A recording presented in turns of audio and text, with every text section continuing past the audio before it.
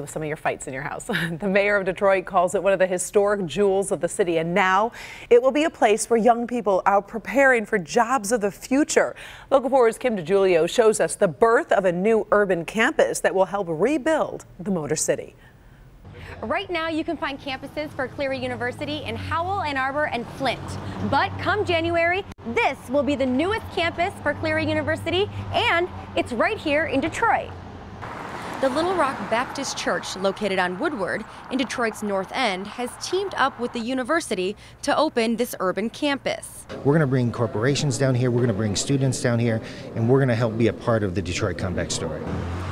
The campus will be located inside of the Considine Recreational Center, which is one of many rec centers that the city walked away from nearly 10 years ago. I remember when the Considine Recreation Center was a jewel of the city of Detroit. This branch of Cleary University will focus on business and entrepreneurship education. And this is the thing that drives Detroit right now is business.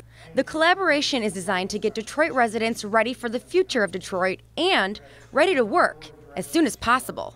Jobs are coming back to the city of Detroit in large numbers. We need to make sure Detroiters are qualified for the jobs.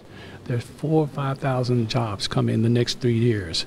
We got to get these young people prepared.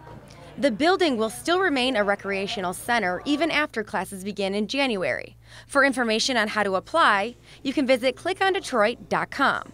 Reporting in Detroit, I'm Kim DeGiulio, Local 4. A massive